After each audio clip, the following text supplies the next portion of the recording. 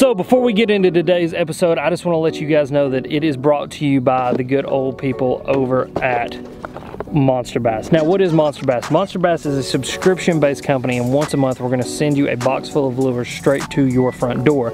Now, what makes Monster Bass really, really cool is that we are designing boxes for the region of the country that you live in, as well as the time of year that you are fishing. So what that means is if you live in the South, we're gonna give you baits for the South. If you live in the North, we're gonna give you baits for the North. If you live on the Great Lakes, we're gonna give you baits for the Great Lakes. Then we're going to align it with the time of year that you are fishing to make sure that you you have the tools that you need to go out and catch some fish. Now, what I want you to do is go down below. I have a link for the Monster Bass website. Go check out the website. Go check out all the boxes that we have. I've also got a promo going right now. It's one year. So if you put in the number one and the word year, all caps, what it's going to get you is a free sweatshirt if you sign up for a one year subscription of the Monster Bass box.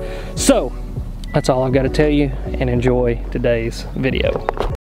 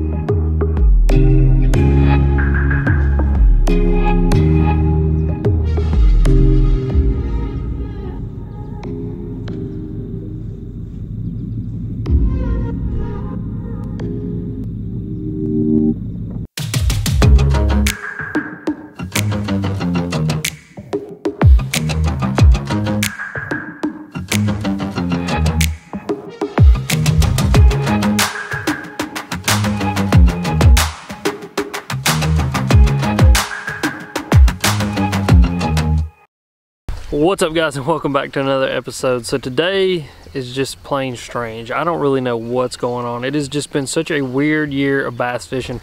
Showed up to the lake super early this morning to get on a little bit of a shad spawn and I found it. I'm up here in this river and so these rivers are obviously going to stay colder than the rest of the lake does.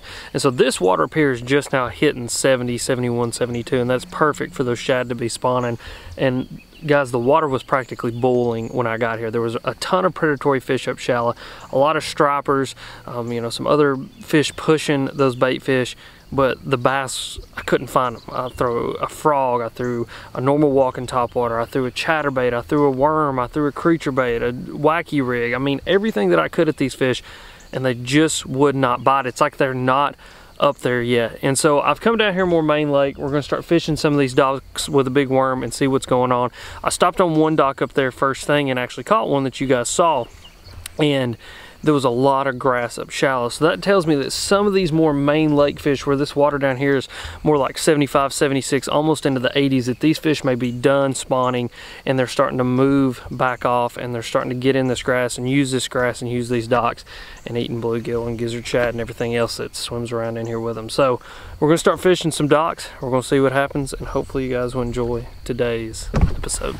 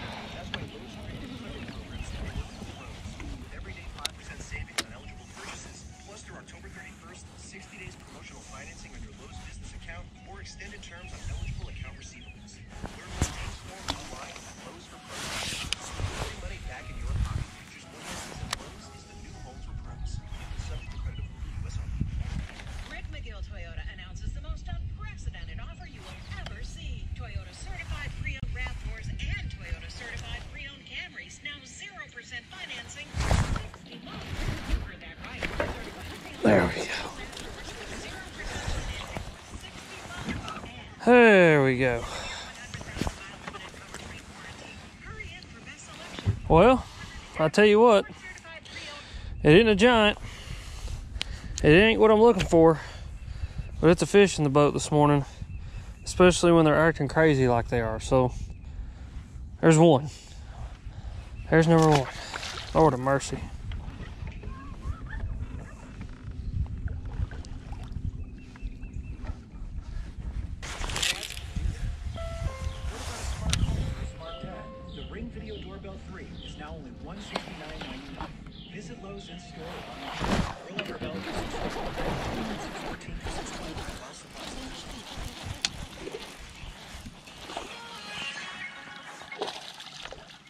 Hmm.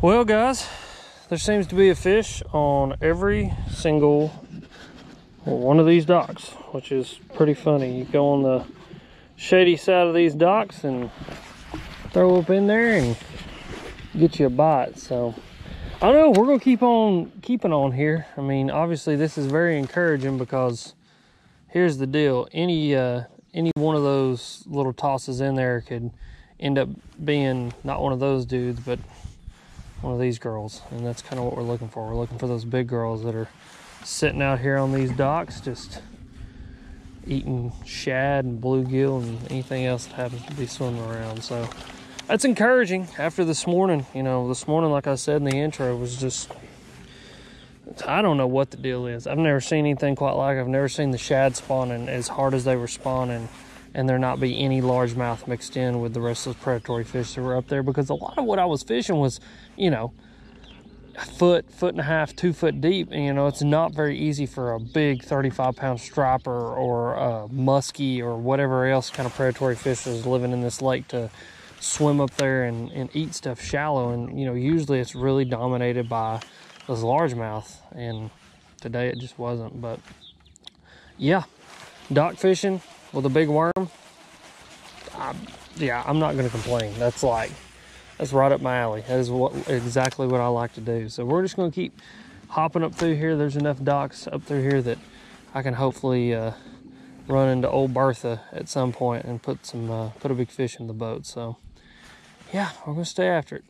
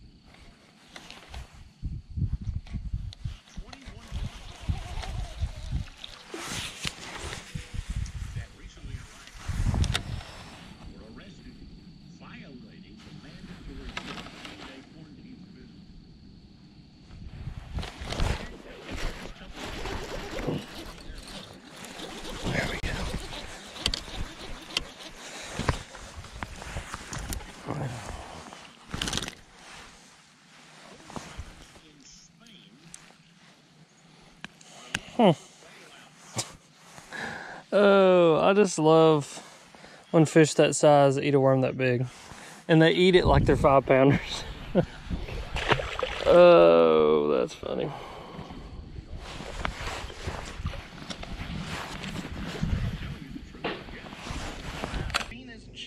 People don't know that you're a human. You don't seem like a human because you're not like a human that they know.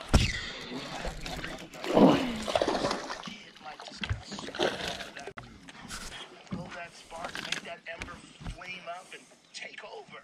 And next thing you know, you're running into that person in some other suit. Oh, I can't even, dude, I can't even tell you that's the. Oh, y'all gonna have to get bigger. Y'all gonna have to get bigger. I mean, come on now. offering fuel. That's as strong as anything else. Yeah. It's gonna, impact. Well, tell you what, I'm definitely getting bites. It's just not the bites that I need. Um, three, four small ones now at this point. I'm just wondering where these bigger fish are at. I mean, because they've got to be up here. Water is 70.5. Um, I'm guessing a lot of these fish up here in this colder, more riverine kind of style stuff have just got done spawning. As late as it is in the year, um, I do believe that this colder water kind of keeps them from spawning, kind of delays them just a little bit. And so a lot of these fish should be hanging out around these docks. They should be hanging out the ends of these trees and stuff. And they are. It's just, I don't know where the big girls are at, which is really strange because usually um, up here where I'm at, it's all quality fish. I mean, I'm not going to say they're all giants, but they're all definitely in that two and a half, three, three and a half pound range. And every now and then you'll stumble across, you know, four and a half, five, even six pounders sometimes. Um, but those fish just don't seem to be up here, and it's it's kind of strange. But every fish that I've caught, I've caught off of a boat dock. Um, and wherever I can find a boat dock that has some grass around it, really seems to be the deal. But I'm just fishing this little uh, cutter worm from Rage Tail Strike King. I got a 3 8 ounce Beast Coast Bomber flipping weight, 17 pound fluorocarbon. This is my seven and a half foot custom pro rod. It's labeled as the ledge swim bait, um, but it's a seven and a half medium heavy, moderate fast. And I have really found that it is good for, you know, swim baits on big heads. It's good for big worms. It's good for big jigs. It's good for Carolina rigs. It's just kind of a general purpose, bigger application kind of rod stuff where you're going to throw just a little bit bigger weights, a little bit bigger pieces of plastic. It does really well. And then I've got that paired up with my BB1 Pro 751 gear ratio. And uh, yeah, just that's what I'm doing. I'm just kind of breaking down these docks, um, trying to find that bigger bite. And maybe we can find it. I don't know. I mean, it's I guess it's just going to be one of those things that it's just like every other day, you know. You'll finally stumble into the area where those fish are at. But there's definitely fish up shallow. They're definitely wanting to eat this worm. So I've got that going for me. I've kind of figured out what the fish want to eat. Now it's just finding those bigger than average fish. And I may have to go down the lake for them. So we're going to hang out in the river for a little while longer, see if we can get a few more bites. And then we may buckle down and run down in the lake a little bit and see if we can if we can get a bite. So When I cut my toenails, I like to do and have them go through the order that they do their toenails. And then the next person says, Well, I, I like it to do the same way where I start on the left. It's like I just, what, what brought this up is, um, golly. Oh, a mode of, y'all are killing me. which is, it's, and Look at these little dinkers. Yeah, I think I that's guess what right. makes it. And we were, um, I mean, what are you thinking, fish? You're Trying to eat yourself. we been turkey hunting, and I it when we got.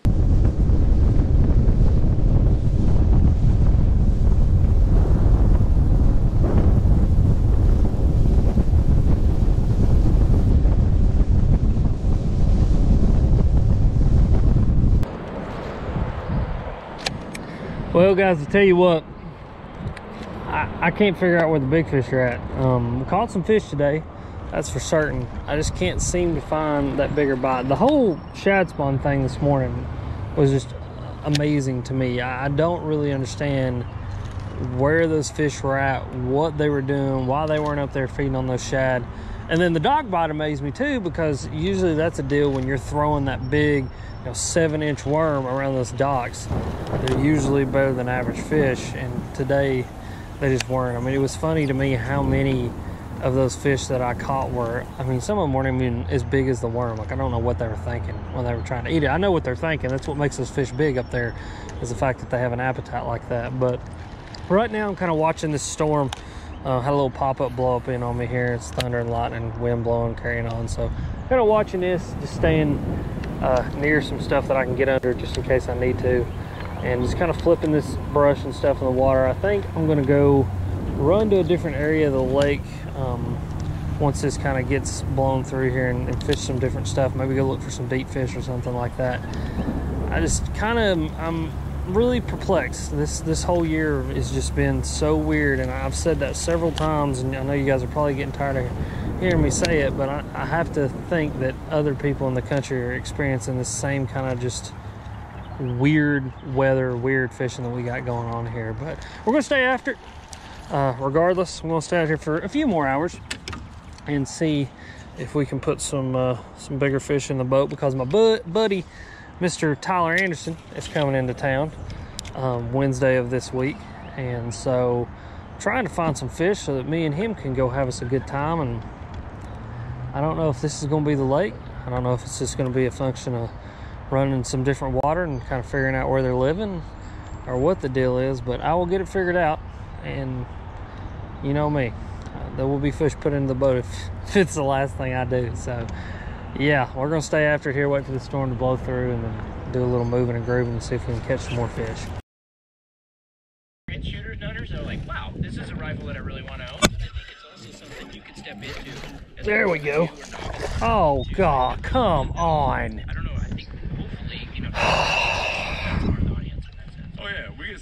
That was a hell of a fight, though.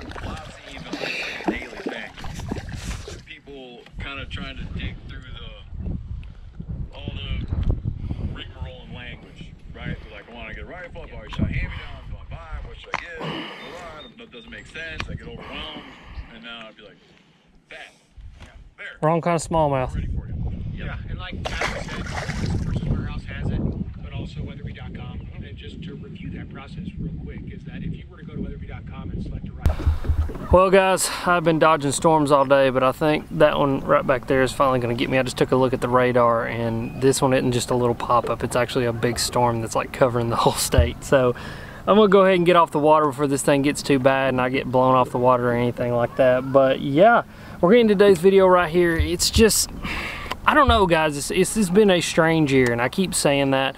Uh, water temperature today never broke 78 and it is going on the third week of June, which is just absolutely insane to me. You know, usually you're having 90 degree days and 90 degree water temperatures by now, but not this year. This year has just been very mild um, and I really think this has been like a normal summer I think for the past few summers we've just had really really hot summers and this is the first kind of normal one we've had and we're not used to it um, but yeah it's got these fish in a little bit of a funk. It was strange to me this morning to see those shad spawning like they were and not see any fish around them um, and then to go down through there with a big worm on those docks and not be able to catch any big fish because usually you know, that big worm around those docks in that grass there's a bunch of big fish. So I'm gonna have to figure out where they're at or what they're doing because I'll be honest guys you know a lot of people say well go out deep. Well those river fish that I mess around with for the most part are gonna stay in that five to 10 foot range and they're gonna get in that grass and that's where they're gonna live and they just don't seem to be there so they're somewhere in between being shallow and being out there in that little bit deeper grass and I'm just gonna have to figure out where they're at over the next few weeks. But today I caught all my fish on two baits. The first one was a moon juice cutter worm. It's actually the Magnum cutter worm. I was throwing that on a 3 8 ounce Beast Coast Balmar flipping weight, some 17 pound fluorocarbon on my 7.5 foot Lew's Custom Pro rod, BB1 Pro on there, 7.5 uh, one gear ratio. Just awesome little setup. And I caught all my fish around docks on that and then I started flipping a Strike King structure bug in um, chameleon, little quarter ounce weight, some 15 pound fluorocarbon, 7.3. This is the super grip rod. I had that paired up with my Lew's Pro TI 7.5 gear ratio. And that was really what got all the work done today. Now no giants, but we put some fish in the boat and honestly, that's all that matters to me. I had fun. Um, I think I'm gonna get back after it tomorrow. I just gotta watch and see what all this weather's gonna do. I really need to like shut up and go get my boat loaded up because I think it's about to get like really rough. But regardless, I think I'm gonna get back after it tomorrow and then uh, Wednesday as well. And then my buddy Tyler's gonna be here Thursday and we're gonna make some content together and just kind of hang out. But as always, guys, thank you for watching. Questions or comments, you know where to go leave them. Um, and yeah, go down in the description. I have partners linked, all that kind of stuff. But as always, you guys are sweet. We'll see you next time.